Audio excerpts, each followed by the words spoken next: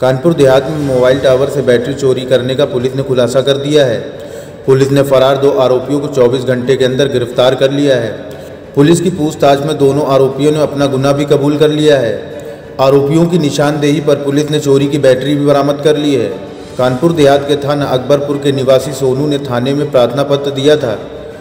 उनकी company स्पाटा security में लगे मोबाइल टावर से अलार्म बजने की आवाज़ सुनाई दी। टावर के पास पहुँचे तो उन्होंने देखा कि एक अज्ञात गाड़ी में दो लोग सवार थे। वह वहाँ से भागने का प्रयास कर रहे थे। जब तक उन्हें रोकता, तब तक वह मौके से फरार हो गए थे। इसके बाद जब अंदर जाकर टावर को चेक किया तो टावर में चौदह बैटरी गायब थी। मेन गेट का ताला भी टूटा हुआ था। थाना प्रभारी के आदेश पर सोनू की तहरीर के आधार पर मुकदमा दर्ज कर लिया गया। चोरी की घटना के खुलासे के लिए टीम भी गठित कर दी गई। घटना का खुलासा करने के लिए जाँच पड़ताल चल रही थी।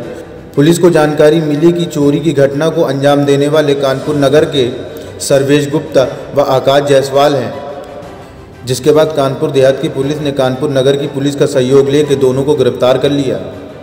Bureau report, IPN.